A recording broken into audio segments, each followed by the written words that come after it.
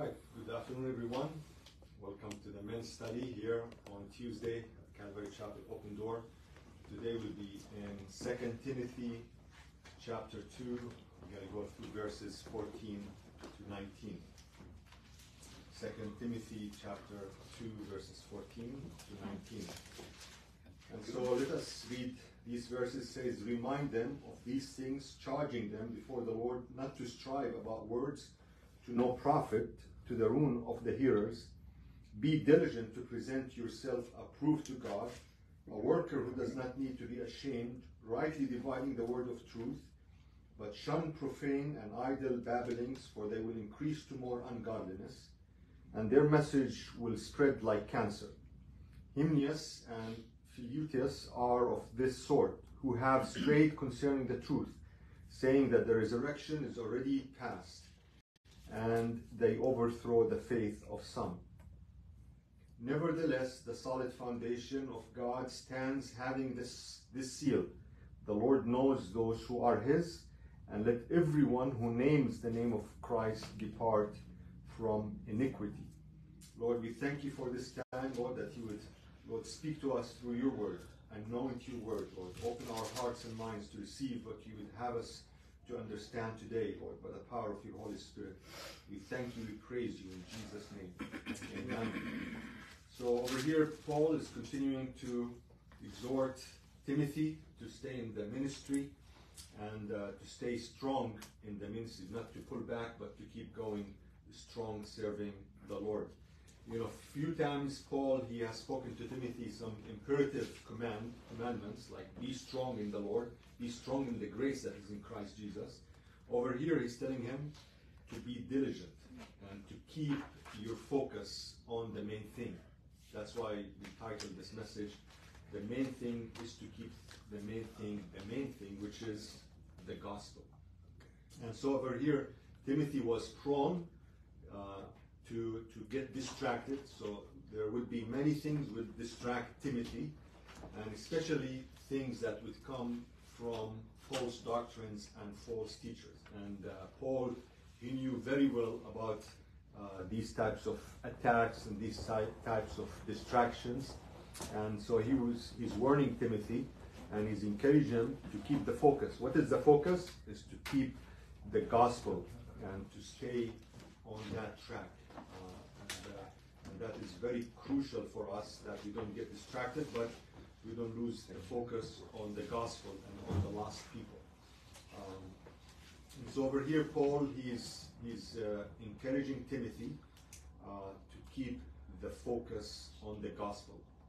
And uh, and the other the thing is, there are some things will will distract us, right? And he, he's going to mention you know some of these very important things that will distract us from the proper uh, focus on the gospel. And the first one is to get involved in useless arguments, in useless discussions. And as a minister of Jesus Christ, minister of the gospel, you have to be aware not to get entangled with these type of uh, uh, arguments that will, will have no benefit and will not edify.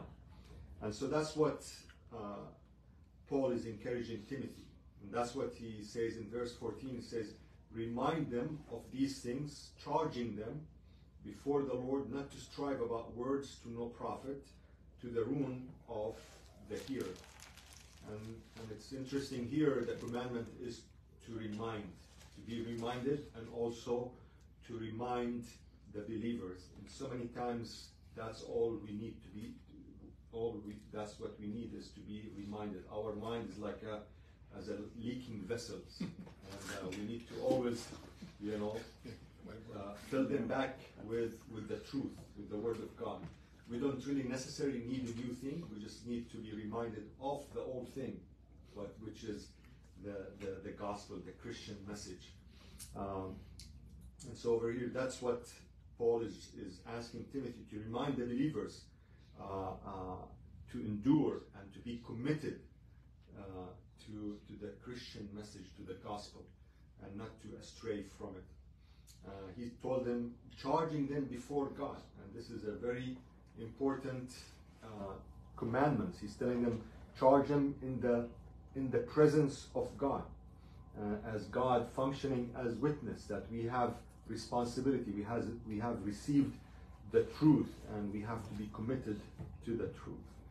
This is uh, what he also told them back in 1 Timothy 5:21. He says, Paul, he told Timothy, I charge you before God and the Lord Jesus Christ and the elect angels that you observe these things without prejudice, doing nothing with partiality.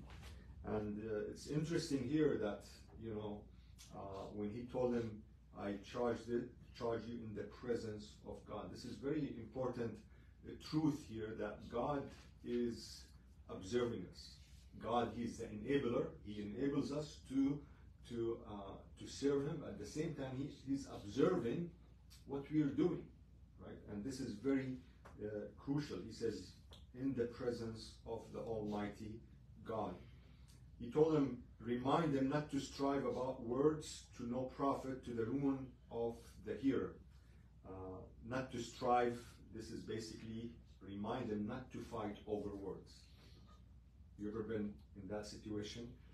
Fighting over the interpretation of words, what these words mean. Uh, and he's telling him uh, this type of argument, this type of strife, uh, it has no profit. It has no use uh, to, to what God really wants to do in our lives. Then he says something very significant.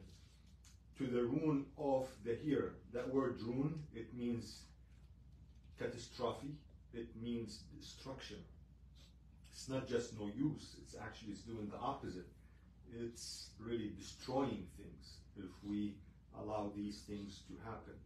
Uh, yes, it is true that there are some times when we uh, we have to study God's word, we have to uh, discuss it and stuff like that, but uh, it has to be in the in the realm of edification, of really studying God's word for the purpose of edification, but not for the purpose of proving you you are wrong and proving me I am right, and all of these types of of uh, arguments that has no value.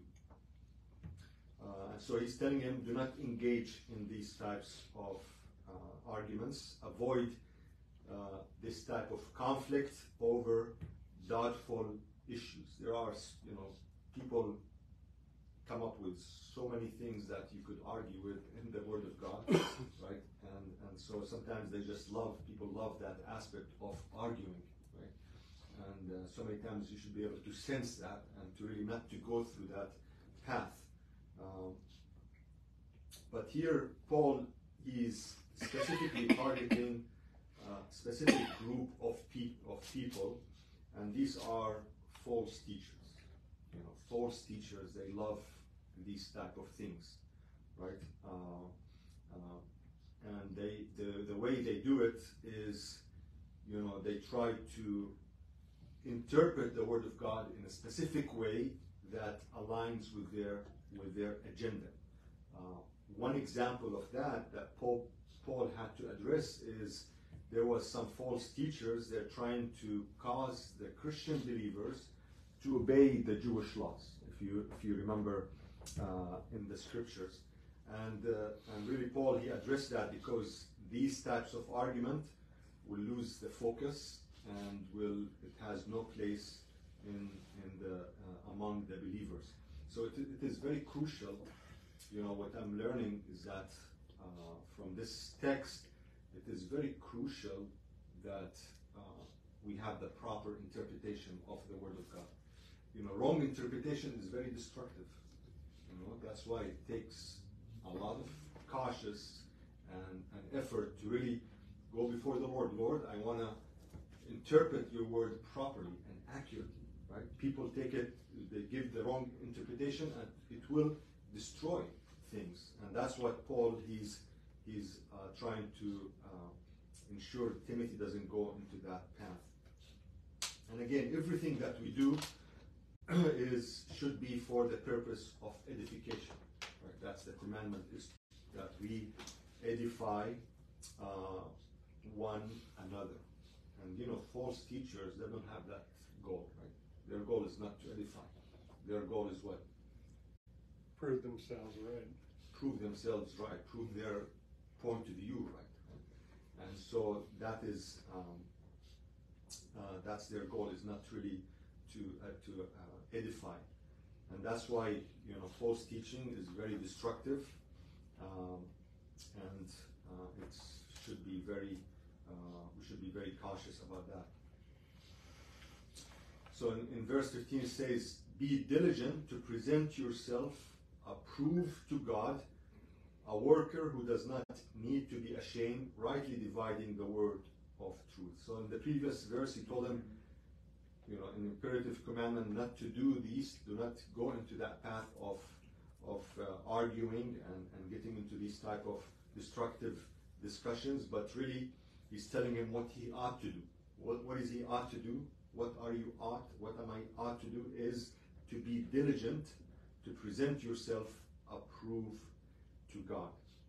Um, so, what does be diligent mean? You know, the word diligent, when I looked it up, it means to be earnest, to be eager. Right? Uh, and the opposite of, of diligent is neglect, forgetful, laziness, and delay. But the imperative here is we ought to be earnest. Uh, the, the commandment here is to be diligent, to make every effort to do your best. And that is the, the, the idea here is that whatever we do for the Lord, we have to give it our best effort uh, in, in, in serving the Lord. Being diligent means to desire eagerly to please God. That's very important that, you know, we're not here to please men. We're here to please God. And that should be the, our ultimate goal in everything that we do, uh, especially when we are studying and obeying His Word. Uh, so here, he's telling him, be diligent for the Lord. And what I find out that, you know, if we are diligent for the Lord, this becomes our safeguard in, in our walk with the Lord. If that's our ultimate goal, is to really please the Lord, right? Then, then we are in the right path. But if we deviate from that ultimate goal, diligent, diligently seeking the Lord, then we'll, we'll be able, we'll be prone very significantly to fall into, uh, into traps of the enemy. And so here's the, the commandment here be diligent, spare no effort, do your best. Uh, this is a call to act immediately, decisively, with zeal in, in serving the Lord. So, how would you describe be diligent to present yourself to God in your own perspective? Be diligent to be in His Word every single morning. Mm-hmm. Consistent. Focused. Focus. Yes. What else? To me, diligent means you're uh, you're uh, you're, you're um, focused and committed to do the best you can. Mm-hmm. Yeah. And that's uh, the key word here is the best, right? Uh, and that's why you know when it comes to God, we cannot live in medi- mediocrity or in a mediocre way, right? Uh, we have to give Him our best. And that's why He told him to present yourself approved to God. Uh, and that is to present yourself, mean, meaning to make your uh, most effort, your supreme ambition to please, to please God. Uh, and this is what makes a true worker, a true servant, different from the false teachers, right? Uh, a true worker is the life and the work that we do must be always oriented toward God and toward His mission. Uh, and like we said, the, the false teachers, their their goal or their orientation is for what they're looking for to people to get their approval, to get them on their side. But God's servants, really, we ought to always seek the approval of, of God. Um, so, what does orienting ourselves toward God involves? It involves really active conscious decision to remain true to the gospel, to remain true to the gospel. right? So, what does that mean to remain true to the gospel?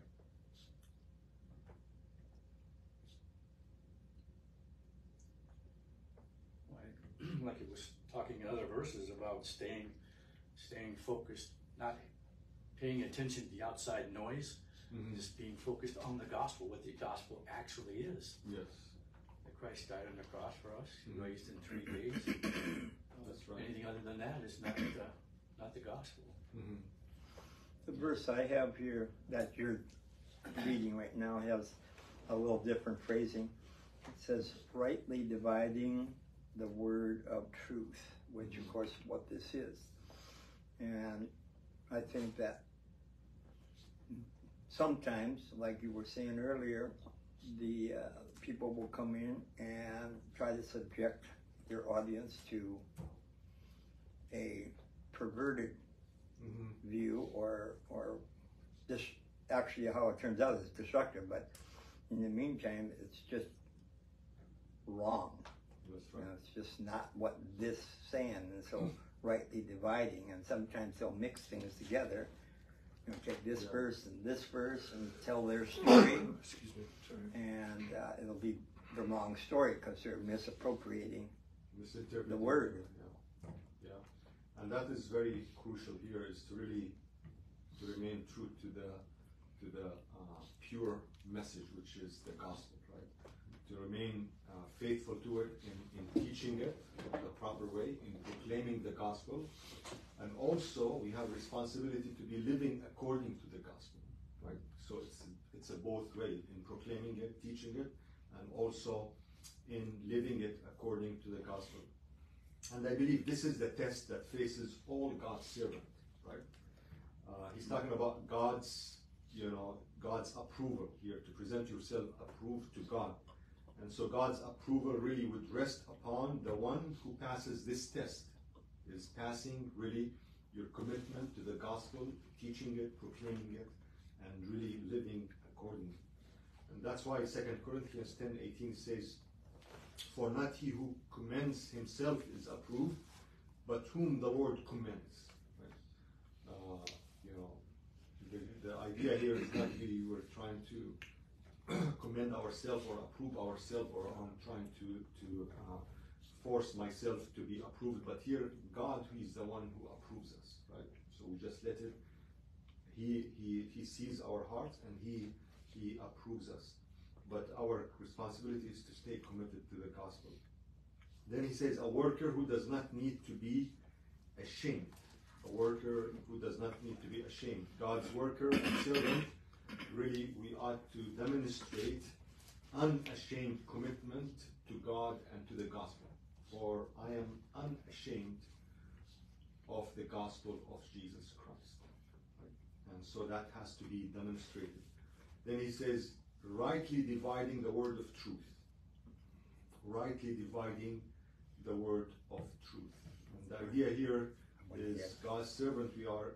We, it takes an effort. It takes you know uh, God's enablement for us to accurately to understand, to study God's word, and to transmit that God's God's message properly, right? Um, and that is very crucial. Uh, you know, these days, many people could, you know, profess that they're they're teaching the gospel, but really, gospel, like you said, Jim, it has a very precise content, right? And and without that precise content, you're not really preaching the gospel of Jesus Christ. And so here, Paul he wants to ensure Timothy would present the gospel without distorting it or pervert, perverting it. Um, he was not to be turned aside by false teachers or false or strange. I wrote, wrote down this strange doctrine. How many times you you hear strange things, and that should you know if something comes across you as strange, that's a flag, right? This is strange. This is something new. This is you know people come up all sorts of things, and that's where we get all these cults and all these you know uh, uh, situations around us. People are, are going after strange doctrines, strange, you know, things uh, they believe that that is not really uh, uh, the proper and the true gospel of Jesus Christ. And also an, an approved workman, approved servant, is the one is able to discern false doctrine. We have to be able to to discern that this doctrine does not is not right, is not healthy, is not is not part of the counsel of God, and uh, and we have to be, you know, if we are in God's word, if we are filled with His Holy Spirit, He gives us that discernment that this is not right. right? And so here the idea, the word of God is a treasure for us. It's like the soldier's sword. It's the farmer's seed, like what he was uh, discussing in previous verses but it's also the workman's tool for really building, for measuring, for repairing our life and the life of God's people. And again, interpreting God's word properly is very, very crucial. Misinterpretation, it brings forth destruction. Um, and that is very, that's what he's emphasizing here, Paul. Verse 16 says, But shun profane and idle babbling, for they will increase to more ungodliness. So again, to keep our focus on the gospel, there are, there are some things we ought not to do. We, we are not to uh, strive about, you know, uh, about words that has no profit. And verse 16 here, he tells us to shun profane and idle babblings, for they will increase to more ungodliness. Um, and so here, Paul is encouraging Timothy to really have a positive contribution against the fight of this false teaching. And the way he does that by continually to keep away from this shun, to be to, to shun away. That means to to keep away from uh, godless chatter. Uh, it means to avoid. Uh, it means that Timothy had to continually be alert to the threat of heresy and the threat of this strange doctrine. And he says, but shun profane. What does profane mean? It means godless, right? Shows that the debate of the heretics had nothing to do with real godliness. It's just part of an argument, intellectual, maybe it could be intellectual argument. He says, but shun profane and idle babblings uh, this Paul is giving him the picture that uh, this this argument, this babbling, it is aimless. It is empty. There's no end result to it. It just you're going into circles, right? There is no end result of of godliness. I would tend to disagree a little bit with that. Mm-hmm. It's not just a circle it's a spiral going down because yes. it leads further down, and the more you get involved with it, the more pervert you get, yes. and the more ungodly you get. Actually, you are very 100% right because the next statement says, For they will increase to more ungodliness, right? Uh, this means, you know, the reason he's telling him to avoid these foolish discussion because they will lead to progress, like you said, Bob, in the wrong direction. Actually, going to lead into the progress of of wrong direction, and you're going to lose the the, uh, the benefit of the truth. Um, and this is also saying that really false teachers internally and in themselves they will not develop or increase increase in godliness but it's the opposite they're always gonna really, you look into their private life, into their way of doing, they're really living in ungodliness. You know, it's very easy to, to carry on this, you know, uh, outward appearance, but really internally they are increasing in ungodliness.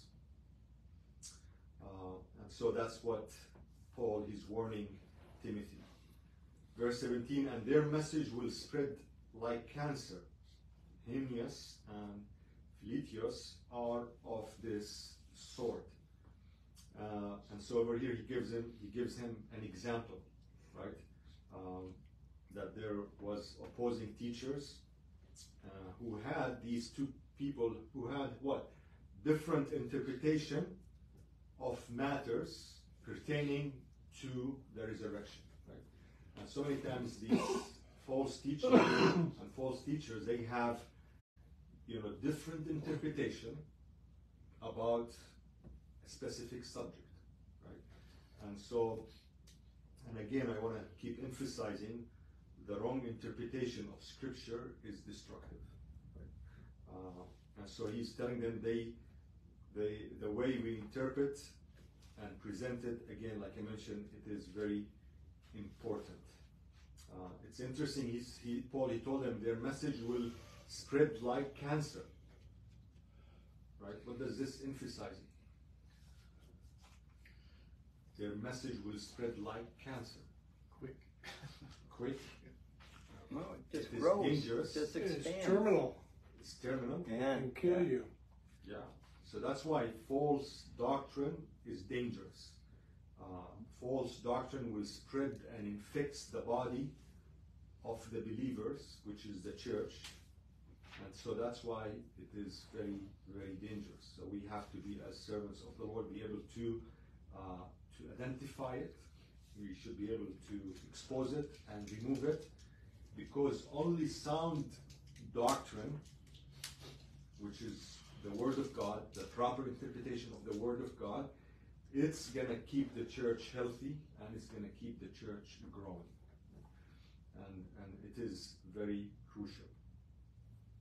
Uh, and that's why you know it's we have to be as a servant of the Lord, we have to be diligently and consistently studying God's word so that we accurately interpret it and apply it first to our life before we ask people to apply it to their life. Right? We first we have, you know, we as God gives us the privilege to teach God's word, first we have to study it.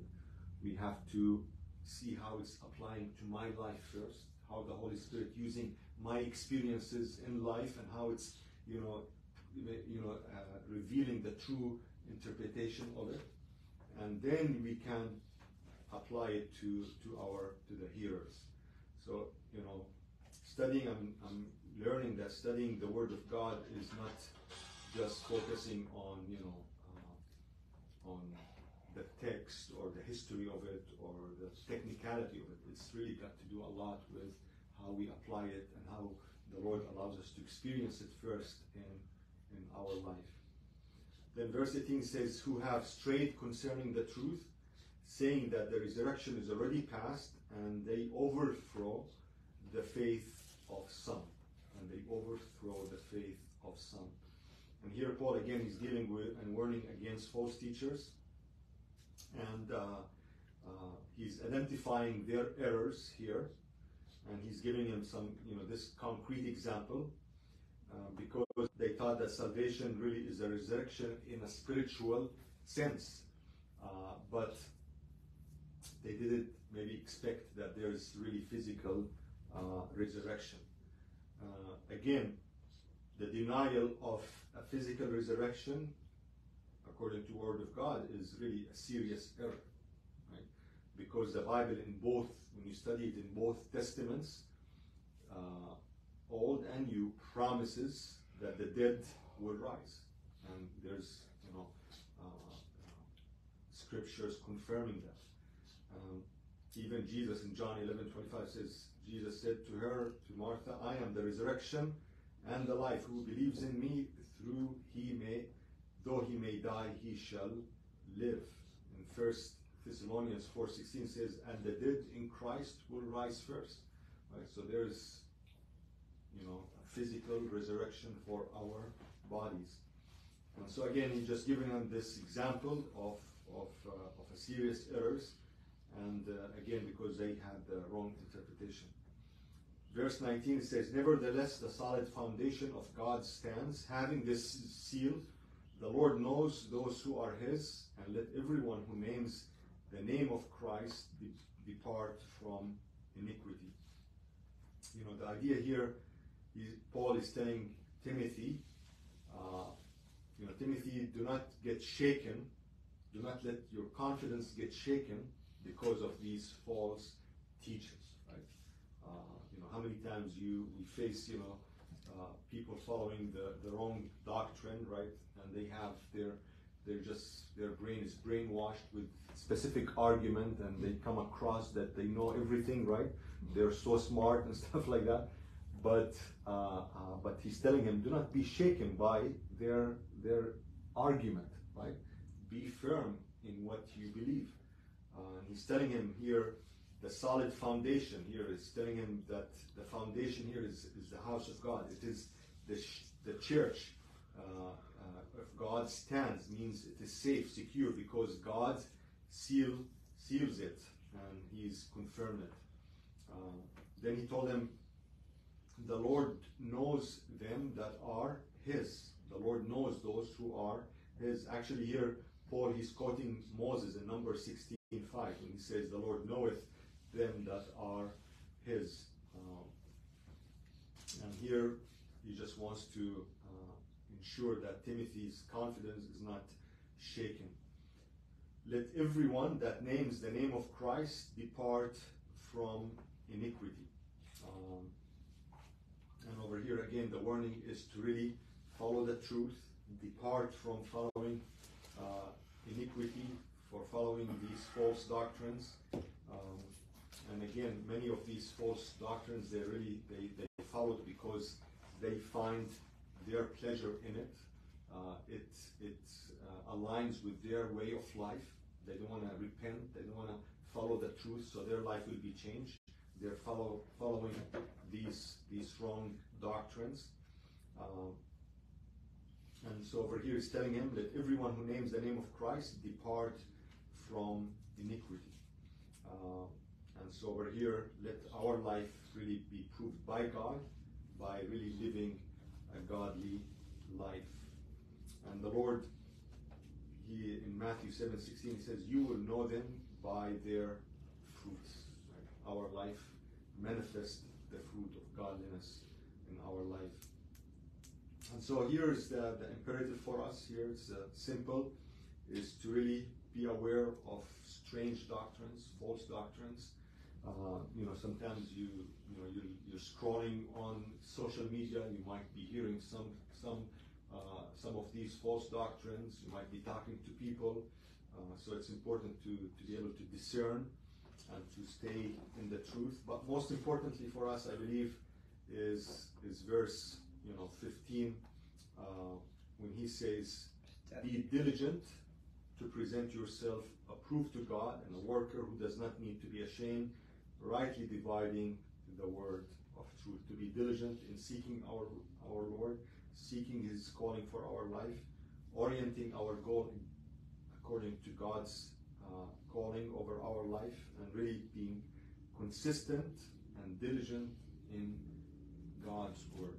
Right? If we are not in God's word, if we're not diligent in studying it, we will astray.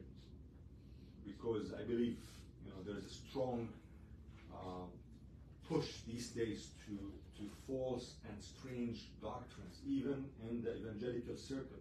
When you start really seeing what's happening, there's some strange, you know, things trying to, uh, you know, subtle things trying to, you know, infect the gospel of Jesus Christ, and especially in uh, in really adapting to the culture we live in, right?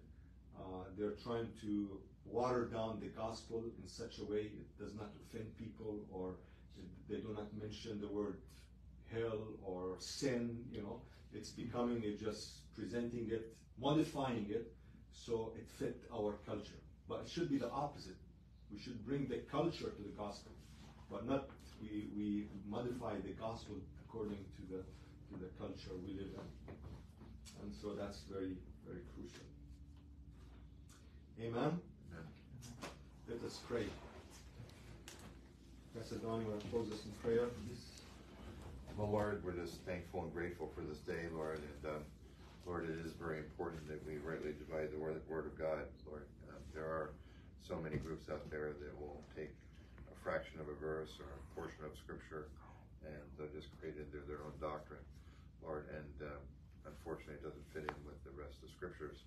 But um, we have to be prepared to, to understand that, and to be able to discern when there's a good doctrine and bad doctrine. So Lord, thank you for this message that, you know, uh, Paul gave Timothy, Lord. It's so important for us to take it to heart and to, uh, to remain firm and stand upon the true gospel, not some version that's brought to, into the world to try to make things comfortable for people, Lord. Um, so many times I hear people want to say they want to have a gospel that's that's modern and for the modern day, and it's the same gospel that was preached back when you walked the earth, Lord. It's you can't modernize it. It's the same as what it should be.